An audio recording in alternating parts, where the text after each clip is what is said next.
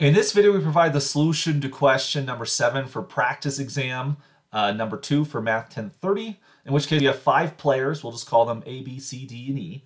They, have, they are going to divide up 20 items using the method of markers. Um, we see that their bids are placed here. So here's a line 1 through 10 and wraps around here 11 through 20. And so we have to figure out which items are allocated to player A here.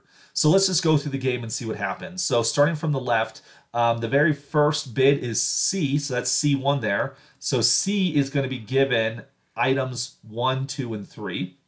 Okay, so then we have to look for the, so we're not going to look at any more C's in consideration anymore. Ignore the C's.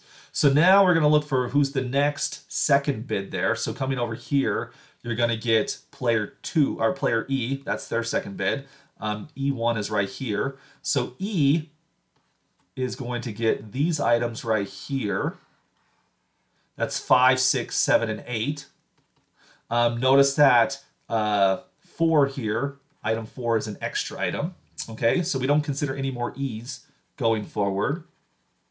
All right, so now we're going to look for the leftmost third marker of anyone. Um, that appears to be D right here.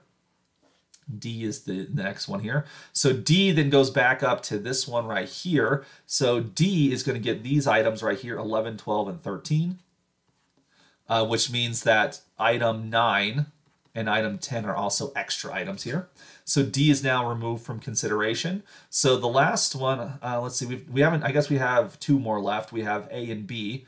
Um, so now we're going to look for the fourth marker. The left fourth most marker is going to be B right here. So B is going to go from here to here. So items 15 through 17 will be allocated to B. Um, item 14 is also extra. And so lastly, we then get a, we then find the last marker for A, which is right here. And so A is going to go all the way to the end. So A is going to be allocated items 19 and 20, um, 18 is also an extra item here.